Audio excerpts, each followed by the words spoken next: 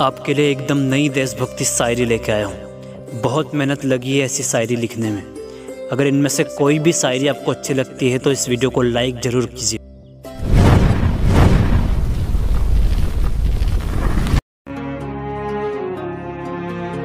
धन्य है वो माता जिसने ऐसा दूध पिलाया था। धन्य है वो माता जिसने ऐसा दूध पिलाया था।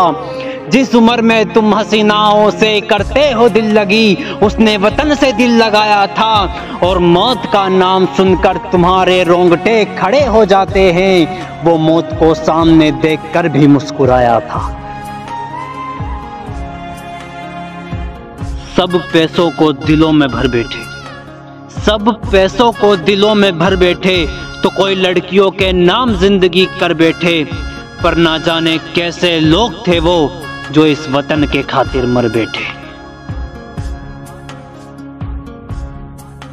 कुछ तो खास है इस मिट्टी में।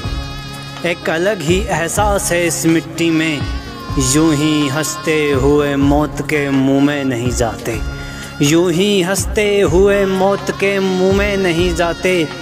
देशभक्ति की प्यास है इस मिट्टी में। कल जाती है तो आज चली जाए। एक दिन जानी ही है ये जान, और कीड़े मकोड़ों की तरह मरने से अच्छा है।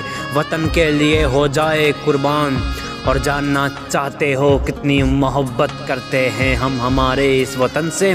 अरे मरते हुए भी मुँह से निकलेगा हिंदुस्तान।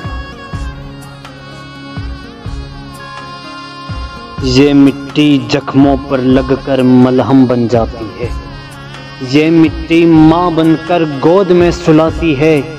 इस मिट्टी की शान के खातिर कितनों ने प्राण गवाए हैं। आज भी उनकी लहू की खुशबू इस मिट्टी से आती है।